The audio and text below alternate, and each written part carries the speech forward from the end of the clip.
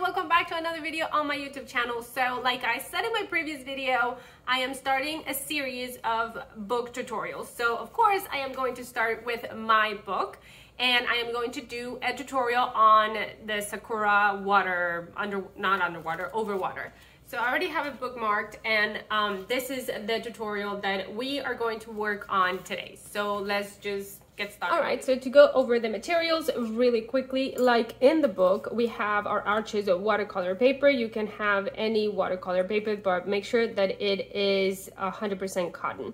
So then we have our opera pink, we have our indigo, then turquoise, and a little bit of white acrylic ready.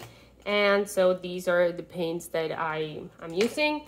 For brushes, we have um, a Raphael, but it's uh, a soft brush. It is actually like squirrel hair, whatever, something like that. A synthetic like liner brush. It has, it says number four, but it's more like a number two maybe, or like a number one. Just like a detail brush. And we have our filbert brush that is also natural hair. All the description to the materials the links to the materials are in the description below. So, of course, we have our Tostitos clean water. And if you guys have been following me for a while, you know that I cut my paper because we all know paper is expensive and we don't want to waste any of it. So let's just cut the paper. I typically don't use any tools for this and this is what gives my paintings also like a little bit. I like the rough edges. You'll know that. So let's just get started with this super quickly. I just don't want to bore you guys with like these smaller kind of steps. So just have your materials ready and basically cut the paper in four. And this is what we are going to work with. So like in the book, it's mostly, I, this is what I typically use to, to paint, like this kind of size, typically on um, portrait mode, really. I typically don't paint like this. So we're gonna go through the steps super quickly. Like I'm gonna show you the steps in the book and then I'm just gonna go ahead and do them. So basically we're going to wet the paper and then with the clean water, then add the turquoise. Then as the paper is still wet, we're going to dab some of the indigo. And it's very important to create like organic kind of edges. So we get this like organic kind of edge basically. Then we are going to um, wait for that to dry and then we're gonna grab the filbert brush and we're gonna start creating our petals um, that are gonna be the cherry blossoms. Once that is dry, we're going to do, or while that kind of dries, we are going to do the little branches and then after the branches we are going to do the details of the little flowers and that's it. It really is four simple steps.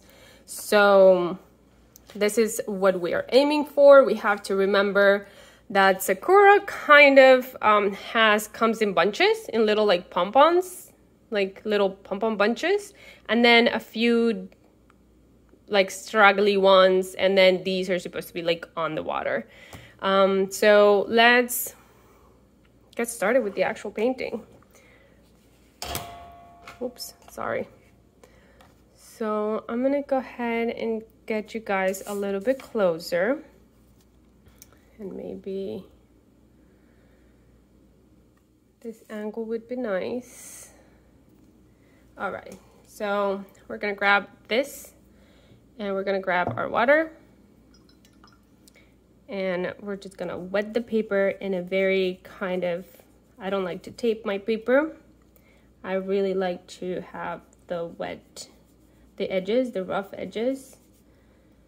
And I'm trying to do this before it gets dark outside so. It really is super simple and fairly fast other than the drying time. So now we're gonna grab this. I might have to paint this in actually like two separate days because I have a feeling I'm gonna run out of natural light and I don't like to paint without natural light.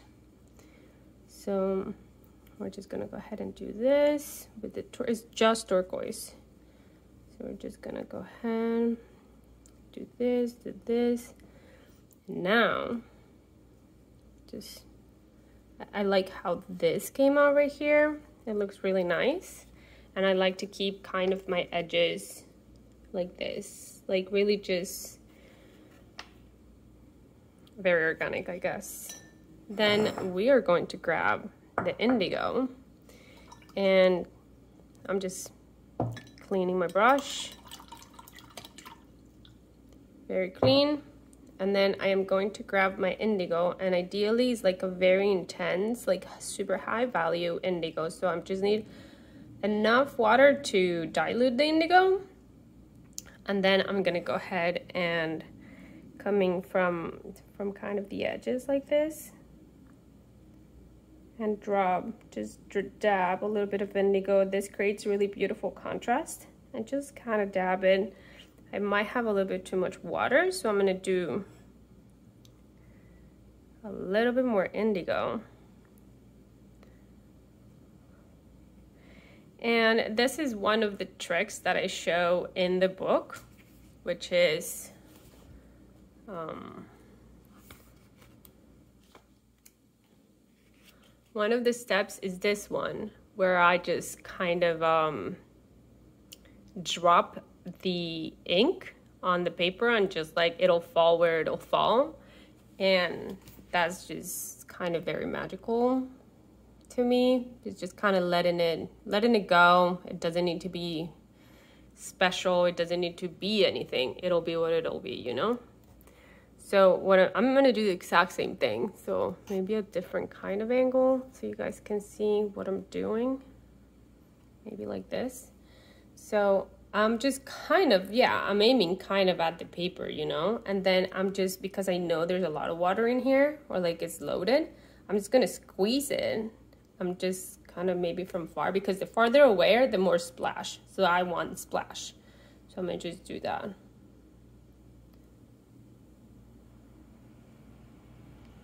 There. And maybe another one here.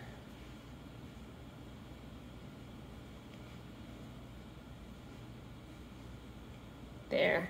Oh, that's such a beautiful one. Oh, look, it's just like so perfect. I'm not gonna touch it. I'm not gonna do anything with it. I'm just gonna leave it there. And what I just basically need to let this dry. It's gonna dry on its own. And let's see. I should just keep this open. Um, so what's going to happen is when it dries, it's going to create this contrast colors that that's what we want. So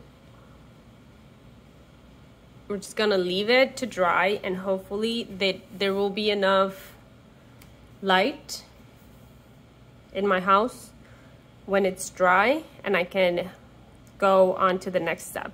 So if not, I'm gonna have to do this in two parts. So I'll see you guys when this is so completely all I really dry. have to do at this point is wait for this to dry to go and move on to the next step.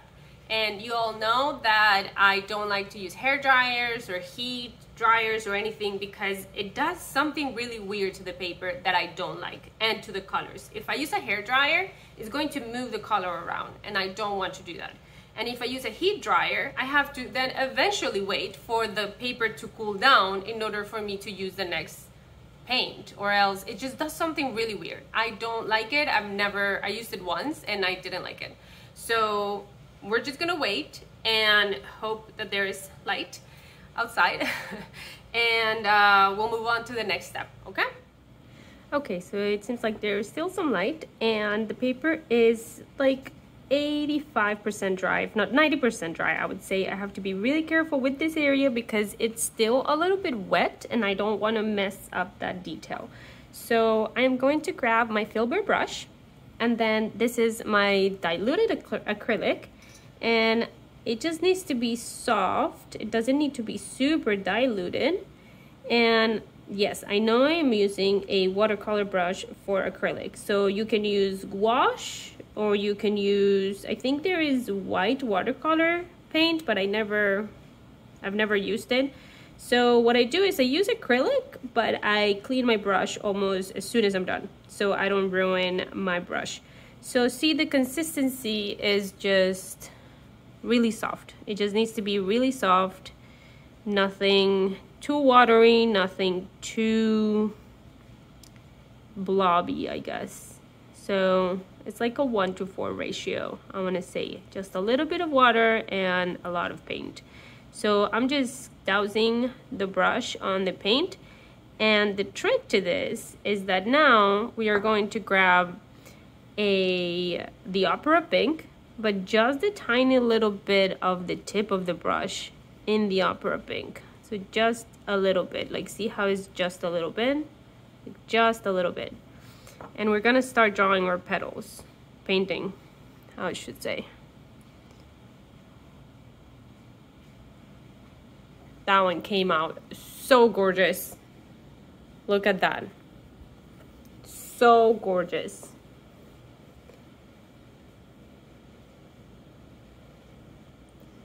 So we have to remember that cherry blossoms in general are white and with like a, a, a, touch, I'm sorry, a touch of, of pink. And all I'm doing is just dabbing the, the, the little tip of my brush in the pink, just a tiny little bit. Because in general, they're white, really, the cherry blossoms. And I have to remember there's five petals, so I need to leave room for five petals and the they have a, a kind of a wide opening in the middle. Sorry again. I just like I have my camera very close so I touch it with everything and then it just kind of jiggles.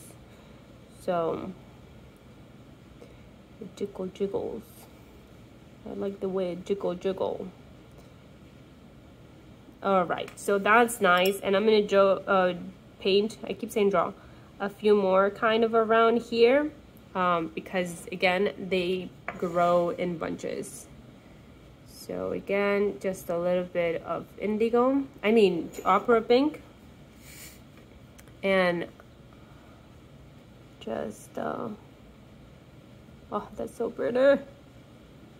So I'm doing like side little bunches. And another one. If you notice i haven't loaded my my white again because i just don't have to really. Just a little bit more pink. I keep turning the paper around because I don't want to keep um, bumping my brush with the camera.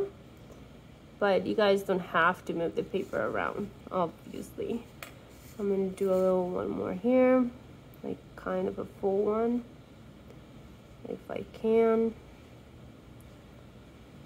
I feel like I need a little bit more pink on this one. I mean, for not having painted in two months, you guys, I think I'm doing pretty good. One, two, three, four, and five. Perfect think that's great.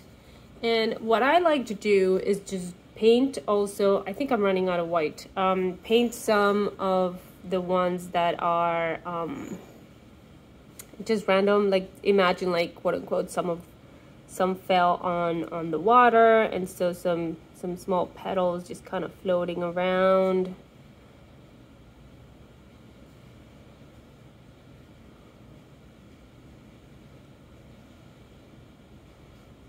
kind of like that. And then I'm actually gonna load my white a little bit more but because I already have pink in here I'm gonna wash my brush and I'm gonna completely reload my white. Like start from scratch. Because I don't want to have a pink brush with a pink highlight. I want white with a pink kind of highlight.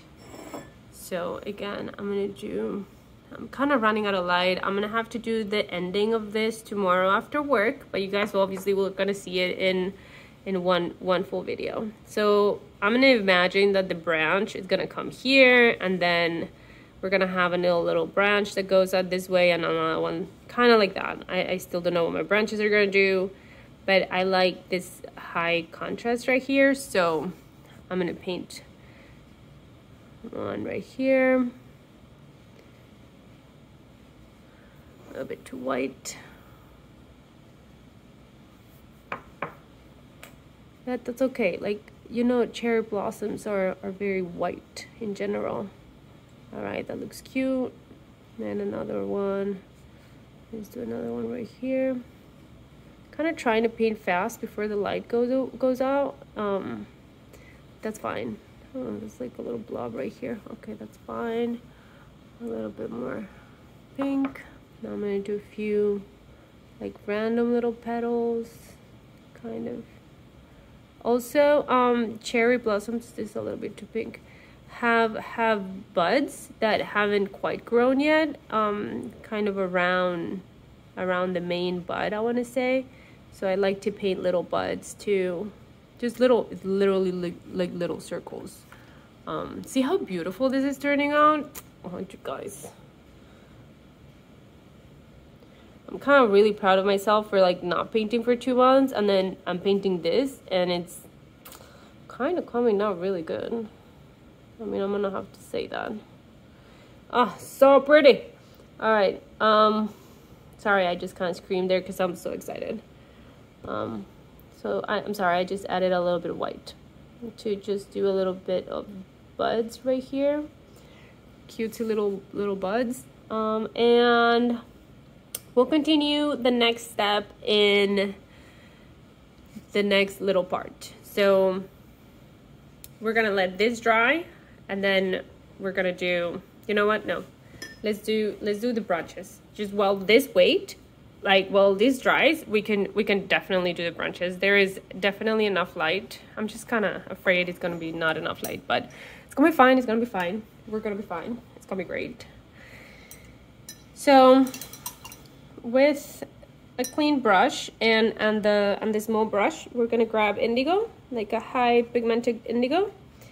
And we're just gonna pretend we have a branch coming from here and it's just a wiggly kind of line like that. It's not nothing more than that. It's just a wiggle line and then maybe we can have another wiggle line from here and it crosses through here and it does that. Yeah. And then we can have another branch that does that and then and then more indigo. It's just like sakura is very or cherry blossoms. I'm, I'm used to saying sakura because you all know like i lived in japan for like a couple of years like three years and that was the first time that I saw sakura, so I know them as sakuras. But I'm not trying to be a little brat, be like, ew, I lived in Japan. It's just, I mean, what am I going to do? I lived in Japan. Okay. And that one came out kind of weird a little bit. Right, a little bit more indigo. And then this is like a little bit a bud that like so what where where I'm leaving these um, little non-ended branches I'm gonna eventually add a few more petals or a few more buds. Because I don't like to see just branches hanging out. I don't know maybe that's just me.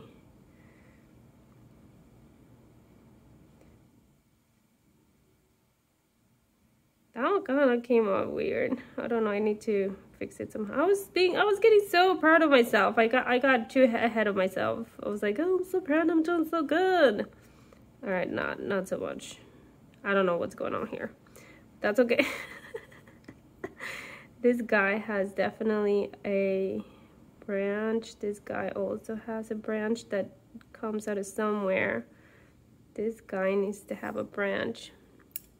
All right, I hope there's still lighting. There's this guy. Oh, okay, that's okay. That's okay. That's okay. These are ones that are just kind of floating in in the water. So maybe let's do a little bit more like thick branch here. Okay, there's a problem. I, I like, I can't stop, but I'm just gonna let it, let it go. Just let it go. Let it do its magical thing. It's gonna dry. We might add a little bit more shadow onto these branches um, but we'll see. All right, so welcome back to step three. Today is a new day. And I was not expecting this video to be so long. At this point, it's about 20 minutes or 15 minutes or something. So let me know in the comments if you guys want me to split the videos into like part one and part two and I'll upload them either like one day and then the next day. So it gives you guys time to like practice or to like catch up on like the first part of the video and then you can move on to the second part instead of having like a 30 minute tutorial. So let me know in the comments if you guys prefer for me to split it or just to watch one long 30 minute video. I try to make my tutorials as simple and as fast not as fast but like concise as possible and simple steps, but sometimes they run a little long because of the drying time, because, you know, there's details and stuff. So let me know in the comments if you guys want me to split the videos. Okay, so let's just move on to step three,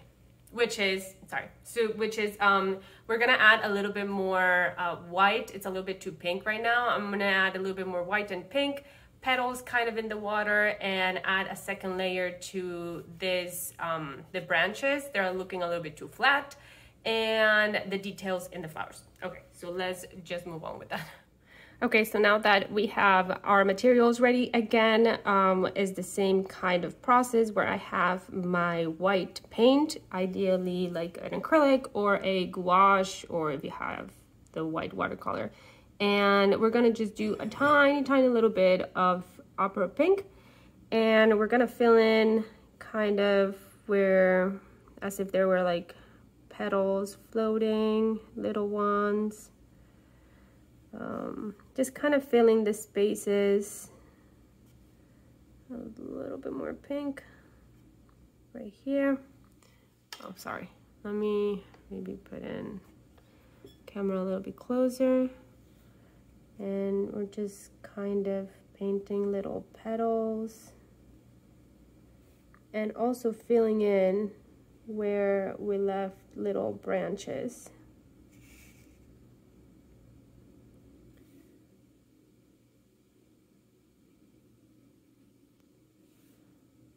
So I am using the side of the brush and pushing to create these oval shapes basically. So let me put a little closer even so you guys see. I'm not doing the flat part of the brush, but I'm doing the side of the brush and just like kind of doing these and it creates this cute little oval shapes.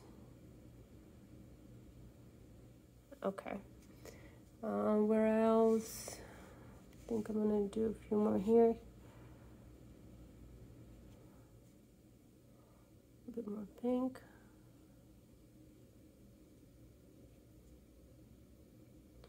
Maybe that's kind of enough.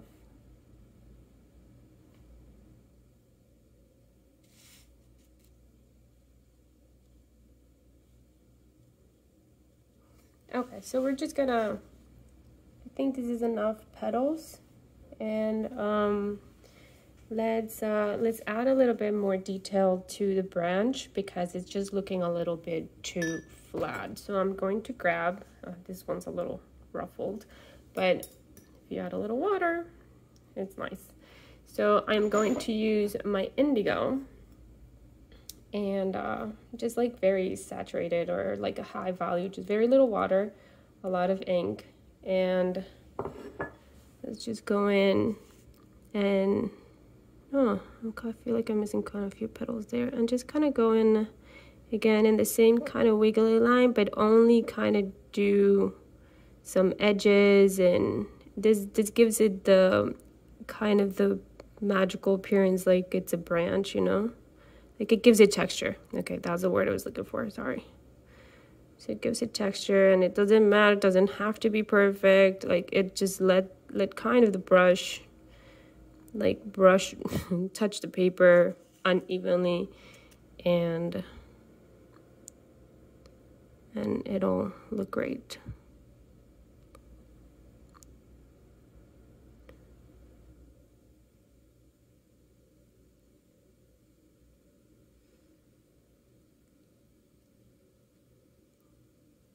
There you go.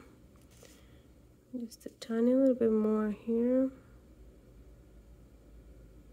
Like, if you drink coffee or whatever, like, this one is great for you. It's just wiggly lines, really. All right, so those are my wiggly lines that, um, that help bring texture to to my branches. And now with the exact same brush, or you can use Opera Pink or what I did, actually for the book, I did the same indigo. And so let's just do what the book did. So we're gonna add the details.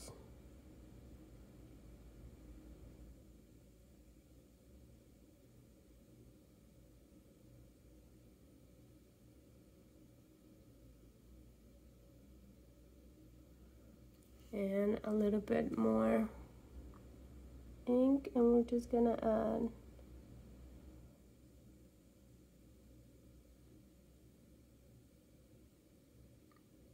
this uh, I think they're called the pistils and we'll just do this. There you go.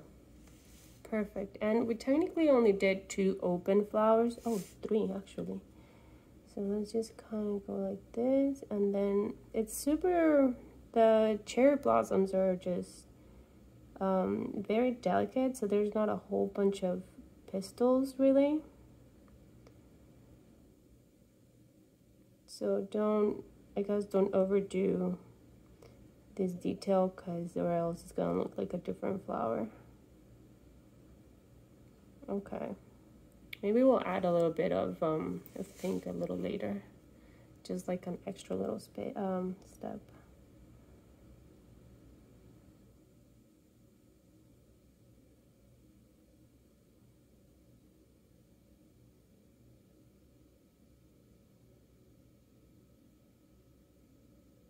I think I'm gonna add a little bit of pink.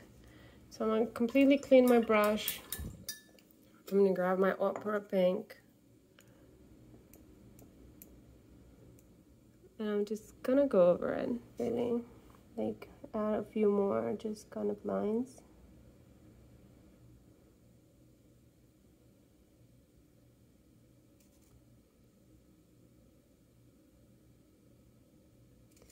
Alright, I think that looks cute.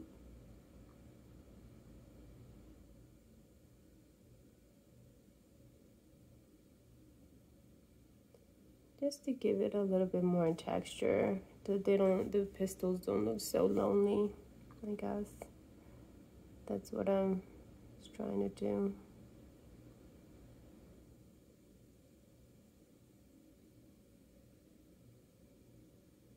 I think that looks cute. That looks really cute. All right, so that is the Sakura in water uh, tutorial. And I'll show you that this is what we did from the book.